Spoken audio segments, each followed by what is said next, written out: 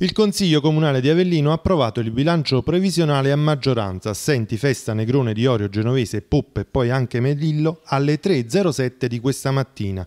A ritardare l'avvio dei lavori l'assenza del segretario generale bloccato in autostrada da un incidente e giunto in aula solo alle 21.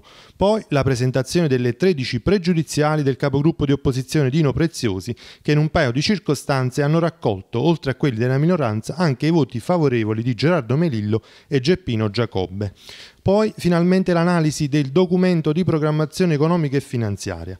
Il comune di Avellino non è un ente strutturalmente deficitario, parola dell'assessore al bilancio Filomena Lazzazzera. Il neodelegato al ramo, nominato a fine luglio, lo ha dichiarato subito, senza tentennamenti, in avvio della relazione letta in aula dopo le 23 e illustrata per circa un'ora, sottolineando però che non si trattava del suo bilancio. A seguire una disanima sui conti e sulle misure da realizzare per mettere definitivamente i conti al sicuro Infine, un cenno sul piano di razionalizzazione delle società partecipate, sulle quali ha promesso di chiedere personalmente un consiglio ad hoc per esaminarle una ad una. Una serie di punti, dunque, quelli messi sul tavolo dalla Zazzera, sui quali intervenire immediatamente. E infatti, proprio il sindaco Paolo Foti, che ha definito il documento come un bilancio di verità e non politico, ha già annunciato robusti correttivi.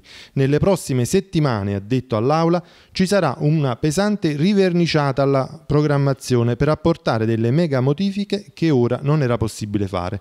Ma voglio ribadirlo ancora una volta, non siamo noi l'origine di tutti i mali di questo comune, ci siamo trovati ad operare in una situazione di emergenza, a scavare tra le macerie. La prima ad intervenire nel merito, facendo però una digressione sostanziale tutta politica, è stata la consigliera di maggioranza Francesca Medugno, che a nome di una non ben precisata componente del PD è arrivata a minacciare la nascita di un gruppo autonomo. Se il sindaco e la giunta non cambieranno metodo. Vogliamo collegialità e condivisione, ha detto. Con lei Massimiliano Miro dei Democratici per Avellino e Salvatore Cucciniello, vice capogruppo del PD in Consiglio, che hanno dichiarato di votare il bilancio solo per senso di responsabilità. Dunque la maggioranza continua a perdere pezzi, forse siamo davvero ai titoli di coda.